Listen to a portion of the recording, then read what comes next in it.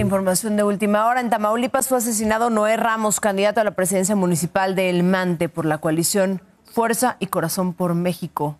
La Fiscalía del Estado ya se encuentra en el lugar del ataque para recabar evidencia que permita dar con él o con los responsables de esto.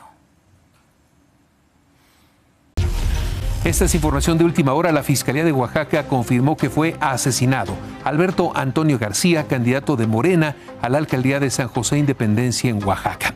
En tanto, su esposa, la presidenta municipal Agar Cancino Gómez, fue liberada con vida, tras dos días de que fueran reportados como desaparecidos. En 2021, su hijo fue asesinado.